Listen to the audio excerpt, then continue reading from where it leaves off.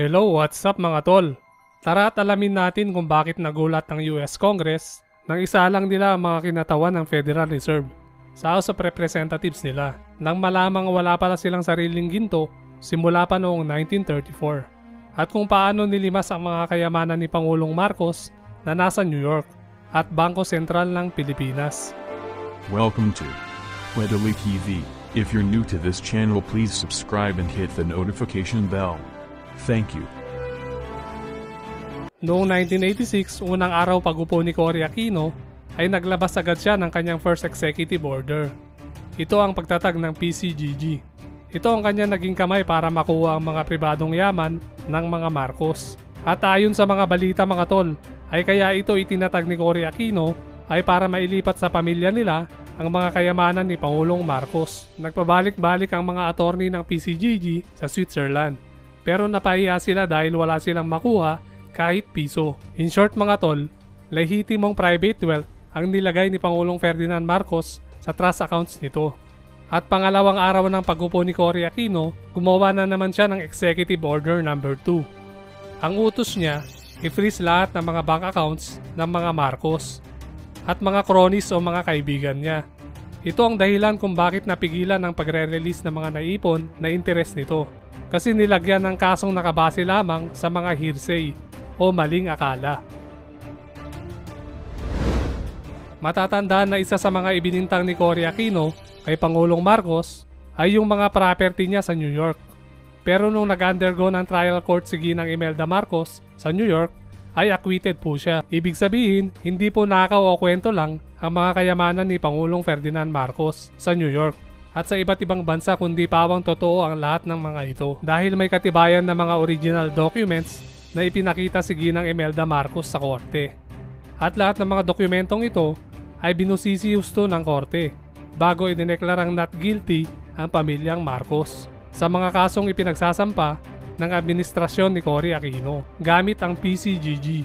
Pagbalik ni Ginang Imelda Marcos sa Pilipinas, matapos ibasura sa Amerika ang tinaguriang Trial of the Century, ay lumapit agad si Ginang Imelda Marcos sa Senado ng Pilipinas at nakiusap na kung maaari, tulungan siya na makapag-set up ng mga trustees sa gobyerno para mailagay ang mga assets ni Pangulong Ferdinand Marcos sa kustodiya ng Pilipinas. Kasi alam niya na ito ay pinag-iinteresan ng mga global powers sa iba't ibang bansa at para na rin magamit ang mga interes ng mga kayamanang ito para sa sambayan ng Pilipino.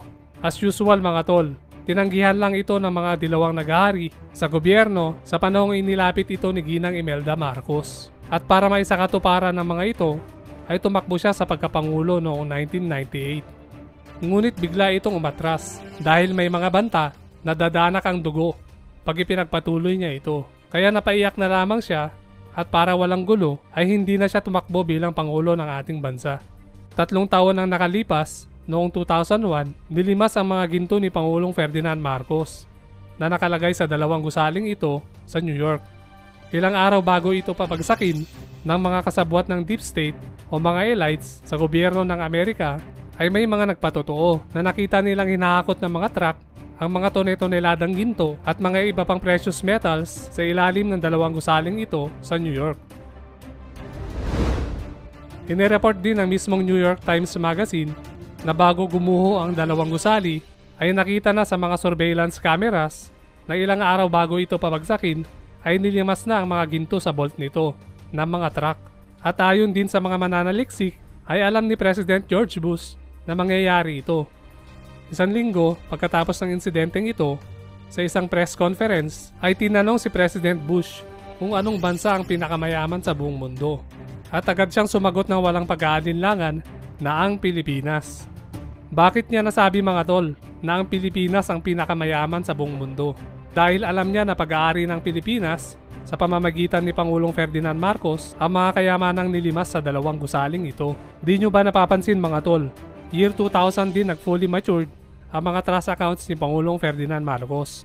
So ano talaga ang malalim na dahilan kung bakit plinano ang pagwasak ng dalawang gusaling ito na mismong sa kaarawan pa ni Pangulong Ferdinand Marcos, tinaon ng deep state ang planong ito. Simple lang ang dahilan mga tol.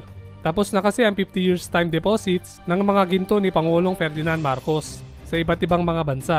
simula 1950s hanggang year 2000. Ibig sabihin, dapat na magsipagbayad ang mga bangkong ito ng mga interes o return on investments na kinita ng mga asset accounts ni Pangulong Marcos simula pa noong 1950s. At take note mga tol, 1965 lang naging presidente si Pangulong Ferdinand Marcos. Ibig sabihin, ang matured bank deposits ni Pangulong Ferdinand Marcos na physical metal assets ay kumita na ng sobrang lalaking mga interes. At ang lahat ng ito ay nakalagay na sa kanyang last will and testament na para talaga ito sa sambayan ng Pilipino. At pagkatapos ng insidenteng ito, hindi na makita kung nasaan napunta ang mga libo-libong metric tons na mga ginto at maraming mga nagsasabi mga tol na ang mga ginto ni Pangulong Ferdinand Marcos ang ginagamit bilang reserves ng Federal Reserves ngayon. Sa mismong video na ito, makikita natin na umami ng Federal Reserves na wala silang mga physical na mga ginto simula pa noong 1934. Gold certificates lang ang ginagamit nila o mga perang dolyar na papel na nakalagay lang sa certificate ang value.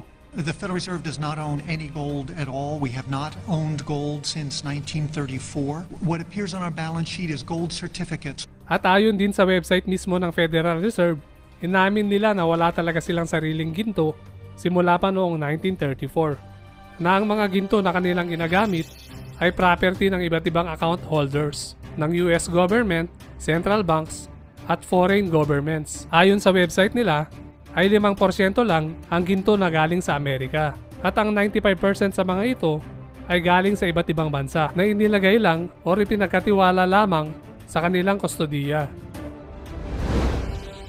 Isipin nyo mga tol, ang Federal Reserve ang tumatayong central bank ng buong mundo dahil lahat halos ng commercial banks ay may account sa kanila at kontrolado nila ang ekonomiya ng lahat ng mga bansa. Pero wala pala silang sariling mga ginto. Ibig sabihin, ang totoong nagpapatakbo ng ekonomiya ng buong mundo ay walang iba kundi ang mga account holders o mga may-ari ng mga gintong ito.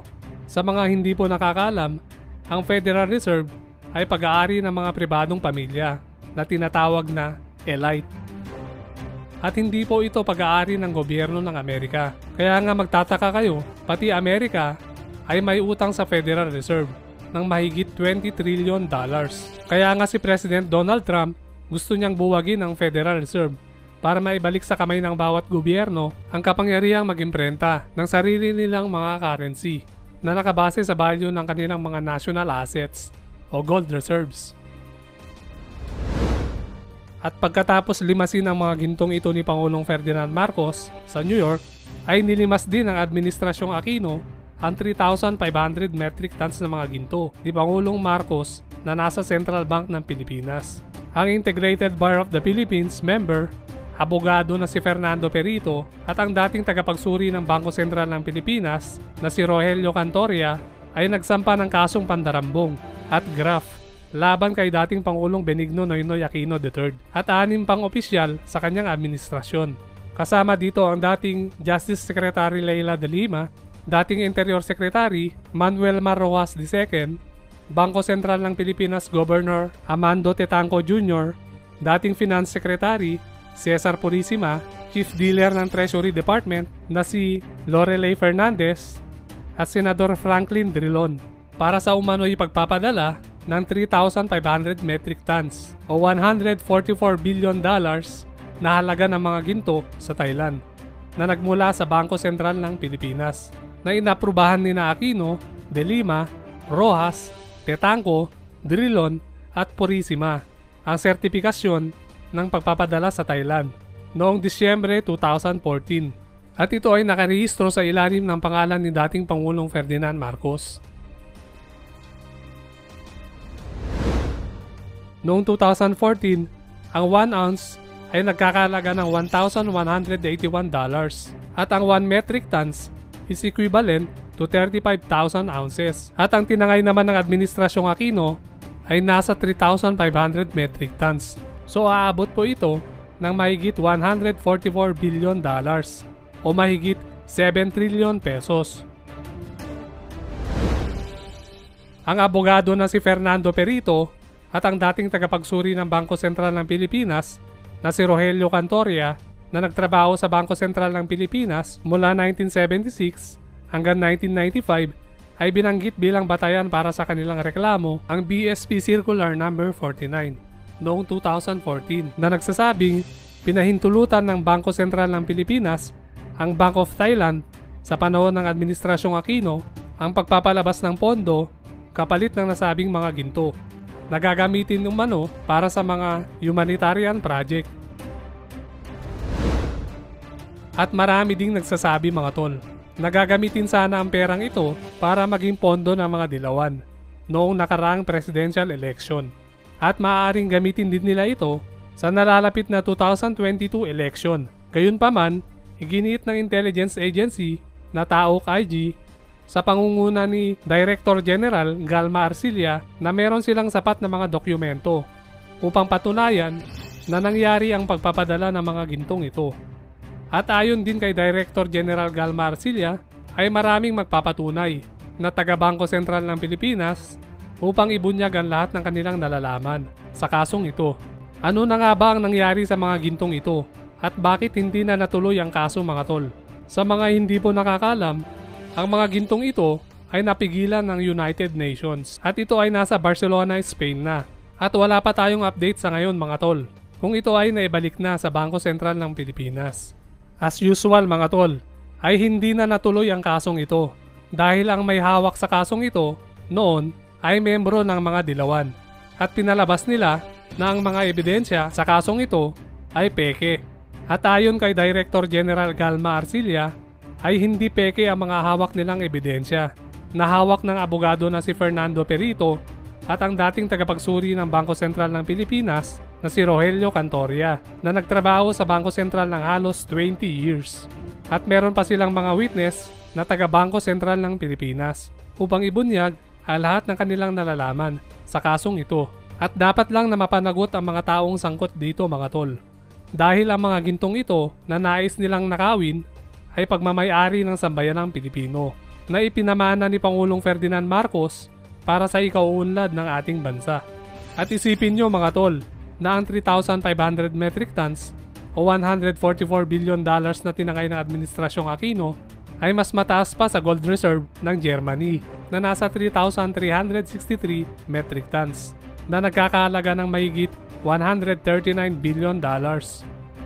At maraming nagsasabi mga tol, nagagamitin din ang mga perang ito para dayain na naman ang mga dilawan ang paparating na 2022 eleksyon at para sa mga black propaganda laban sa pamilyang Marcos para hindi maipatupad ang last will and testament ni Pangulong Ferdinand Marcos.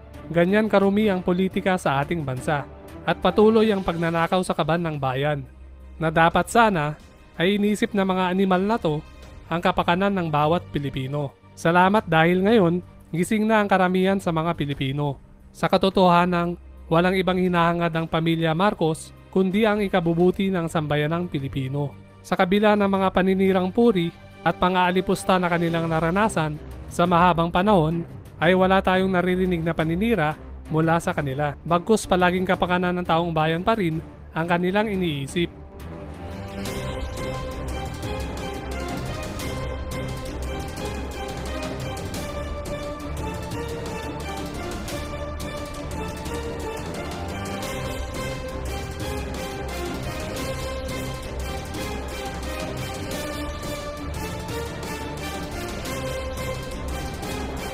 Mga tol, maraming salamat po sa panonood. Pakishare po ang video ito para malaman ng sambayan ng Pilipino ang katotohanan. God bless po sa ating lahat.